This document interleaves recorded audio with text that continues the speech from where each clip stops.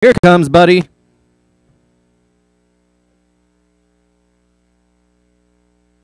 They're off. It is race number 32. Out to the quick lead, it's number four. Four in front. That is CD, CTW Rugby Pro. He still leads into the backstretch in the green. Number four, CTW Rugby Pro. Four, one, two, and five. Same lineup into the third turn. You have one on the inside, four still with the lead.